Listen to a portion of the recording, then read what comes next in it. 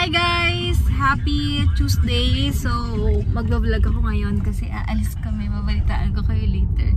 Pupunta kami ng ATC kasi dapat S. Bison kami. Kaya lang sabi ko kay daddy medyo malayo. Tapos iwan pa namin si Hugo kila mama. Tapos, ano pa, basta medyo malayo-layo siya for me. Ay, nakakita mo ba? Ayan, tawag dito. So, we decided na pupunta lang kami ng ATC pinaka ano rin, dapat i-via kami kaya lang ATC na kasi kailangan ko bumili ng popcorn and then nung snacks ni Hugo sa school like donuts, ganyan. So ayun, tapos sana may doon, sana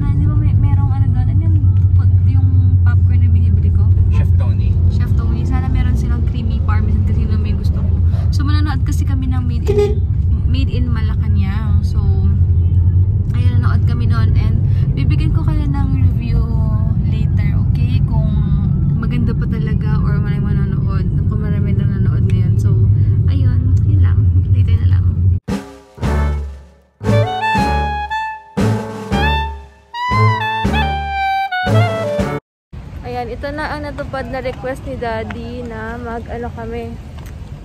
Na mag-date kaming dalawa. Na kaming dalawa lang. Yehey! pero kakain muna kami ng favorite naming Taco Bell. Cilantro, pero mas mas okay yung Taco Bell kasi na-miss namin. It's been a while. Yeah. Grabe na kami bago. Walang maingay, walang makulit, walang daddy, daddy, mami, mami. Nako, nakakamiss din. Pero wala, kailangan din namin tong dalawa. 'Di ba? At least once a month or twice, okay na yun. Ayan, later na lang. Nakakapanibago. Sobrang lungkot na dito. Tingnan nyo, oh, dati may mga plate wraps pa dyan. Ay, may sushi na rin oh. Yeah. Guys, wala pa lang cinema dito pag every Tuesday. So, punta kami ng SM. 8 o'clock doon yung 2D nila. Ah, 2D na sinihan. Okay na rin yan sa SM South Mall. Yung regular cinema lang nila yun. So, that's okay. Mas mura pa siguro. Hindi ko alam ba kasi dito sa May- ATC 450 pesos eh. Hindi ko alam kung magkano ngayon sa South Mall. Ha? Pero kakain muna kami. 8 o'clock pa naman. Uniqlo pa sila doon.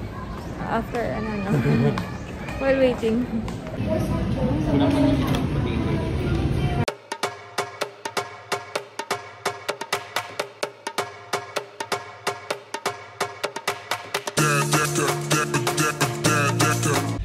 Grabe, nag-worry pa kami. Kala namin sobrang tagal.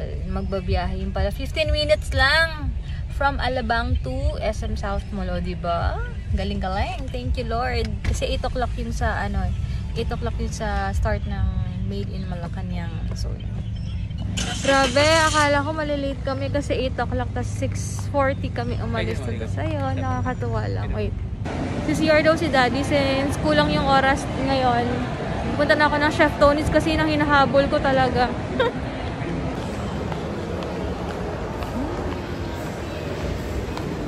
Dalawa na binili ko para may stock na kami kasi si Hugo kaya niyang kainin isang kainan to. Ako rin naman. Katag isa na lang kami. Ah, si Daddy, ayan si Daddy. Wait lang, bibilang ko yan ng si Hugo ng baon niya for tomorrow, uh, Krispy Kreme. Grabe, after ilang taon, hindi na lang ulit kayo may manonood ng sine dito sa SM. Yeah. And 350 pesos lang pala dito. Sa ADC 450, sa S. Maison 500 yata. Mas nakatipid pa kami. Kasi yung gas din tol, etc. Di ba? Oh, kung S. Maison pa tayo, for Oh. example. So dito na lang. So yan. wala. Evia, uh, okay na rin. Wala lang. Okay na rin dito. Tsaka guys ah. Ayan oh. Hihi. Ay, pinaganda na rin nila doon. Hala, ang galing. Ganda na dito.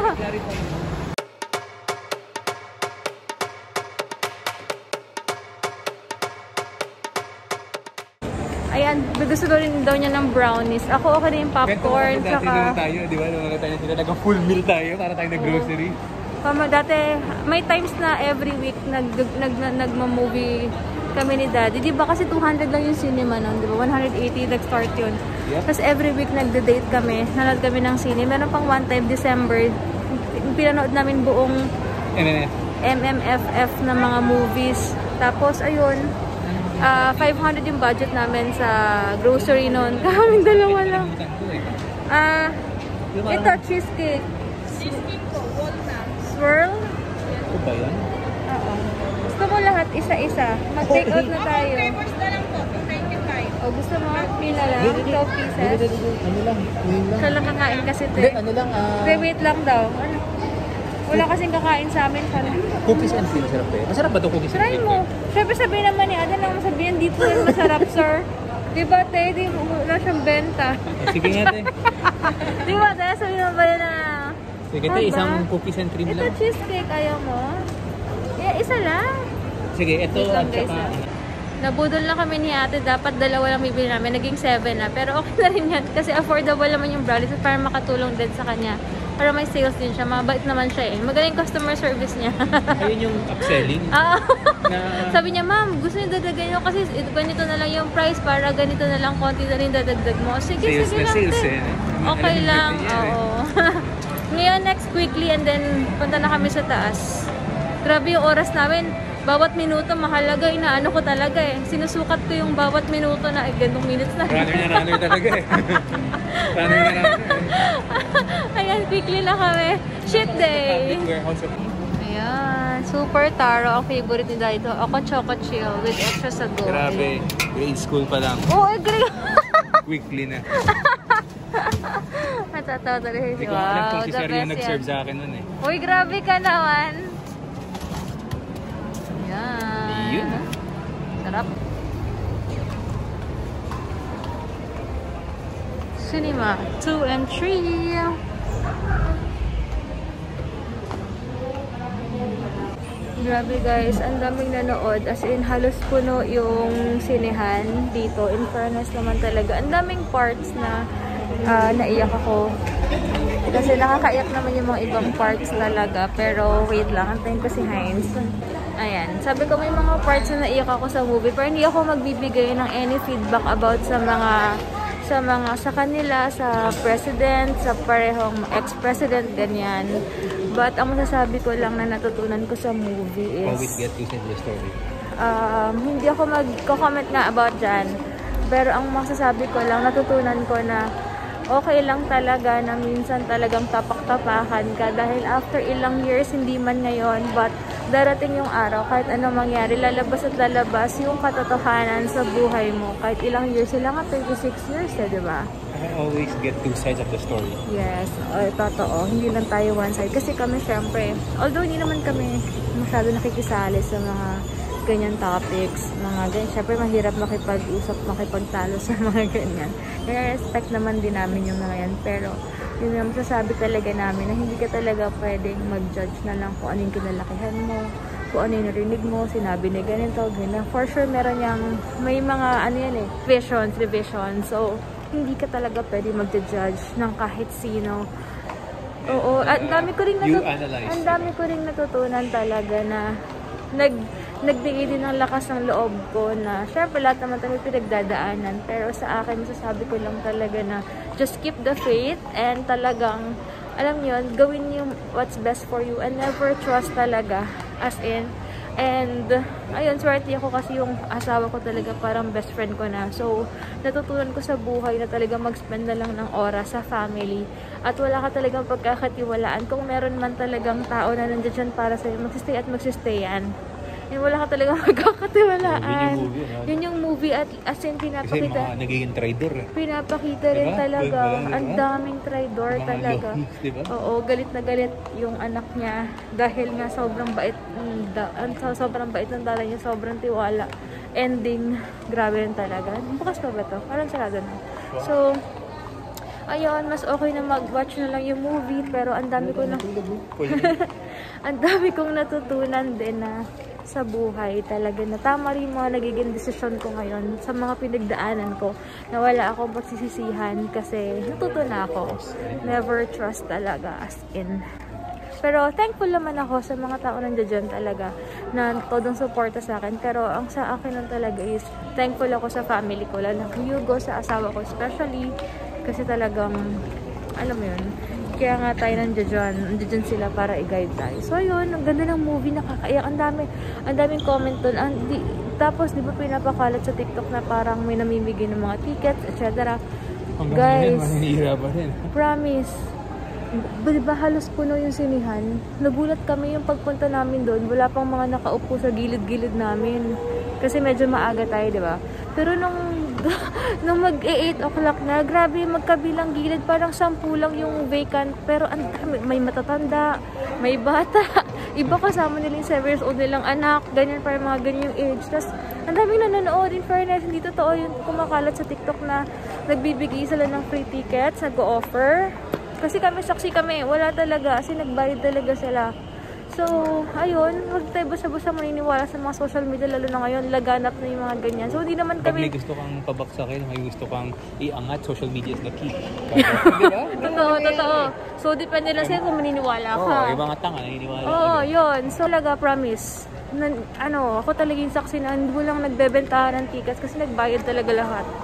Wala nag-offer or anything pero halos puno yung sinihan at galing na galing sila sa director tapos nagbalakpakan pa after ng movie. Sobra, ang ganda. Tsaka tingnan nyo, ngayon lang din kami napa, napalabas kasi hindi naman kami, alam niyo naman, knowing naman kami ha. Hindi kami gagastos ng, ng nonsense ng, na mga movie. Pili-pili Pero, mga movies na. piling-pili yung mga pinapanood talaga namin na Piling-pili lang natin, Batman, feeling namin na sulit yung pera namin. So, ito, hindi lang siya, parang nag-invest din ako sa sarili ko na marami ako nang nag-open yung mind ko. Hindi lang siya sa gusto ko malaman yung history but yung movie is talaga may aral din siyang tatatak sa'yo na parang nag-invest ako. Imagine mo, di ba? Noong Ah. time ng, ano, di ba, inauguration, bigla. Mm-mm. Biglang nakat yung media, no? Oo. What more ngayon? Ang daming pwedeng, di ba? True. Ayun, so parang feeling ko nasulit naman yung binayad naming 700 pesos kasi nalaman ko ng history pero syempre tayo magiging one-sided, may mga ganyan, parts ba na ganyan. Pero sa akin, ang matitake home ko lang isa na pag-aralan ko na about sa movie na yun na, ma na ma-relate ko sa buhay ko. So, at na-uplift ako na parang alam ko darating yung araw basta totoo ka, wala kang kailangan ipag-worry, basta go lang sa life. At darating din yung araw na lalabasin talaga yung katotohanan at lahat-lahat kahit anong gawin sa'yo. Ganun pala talaga. Yep. Di ba, Daddy, no? So, ayun lang. Ah, kuya, bukas pa po? Pwede pa po mag-exit dito? Pwede pa po mag-exit dito bukas. Ah, salamat po, salamat. Ah, ako po, salamat po. Ayun. Yun lang, and hola, para kung ano rin, na na na-cleanse yung isip ko, na-inspire ako, na-inspired ako dun sa movie. Kasi hindi lang siya basta malalaman yung history mo namin. Kaya panoorin mo, promise. Hindi to sponsored, pero panoorin nyo talagang worth it, worth it. Kahit na sabihin yung yung, Iba yung- pagkakagawa. yung overall. pagkakagawa, oo, 'di ba? Very details. Details. Tapos kahit Yung na voice. kahit na sabihin yung. Yes. Oo, no? Kahit na sabihin yung hindi nyo trip yung Marcos, pero bigyan nyo ng chance para at least kahit pa paano, di ba? Makita nyo rin yung side nila. Kasi kami talagang sa totoong buhay, iba talagang boboto talaga namin, binoto namin. Pero wala, kailangan natin maging open yung mind natin, makita naman yung side ng kabila. So, pero 'di ba, at least hindi ka hindi mo rin na-stressan yung sarili mo sa mga bagay na di naman natin makokontrol. Basta maging open lang talaga yung mind natin sa mga ganyang bagay. So, yun lang. And, pauwi na kami. Ano oras na ba? ano oras na, daddy? Ngayon, sabi na naman ni Hugo, kapag iniiwan natin na siya, magreklamo na naman, gabi na naman kami umuwi. Pero ano, happy ka ba daddy? Masaya ka naman. Sulit naman yung pera natin. Sulit yung time. At yung food trip mong brownies at grabe na iyak-iyak talaga. Kami part talaga. Ang daming part na nakakaiyak doon na masyado. Emotional ako masyado. so, ayun lang guys. Uh, check nyo na lang. Nood kayo. Baka mag-extend sila kasi maganda yung movie at napapansin siguro nilang maraming nanonood. So, panoorin nyo na. Ang ganda, magaling. Pwede naman mag... Ah, hindi pala dyan. Sige guys. Ice yung, ilabas na yung bala, di ba? Yung in-air yung, di ba yung government. Totoo, totoo. Oo. Ayun, so panoorin nyo, promise. Bigyan nyo ng chance kung hindi nyo feel sila Marcos. But, chance lang, try nyo lang. Pero hindi ko naman kayo syempre ini-encourage na ano, alam nyo naman. Alam, alam kong guess na naman ako. So, yun lang. Tomorrow na lang guys. Ay, sa ano na lang sa, hindi ko alam kung kailan ko mag-vlog kung kailan kami alis. So, thank you so much guys for watching and God bless.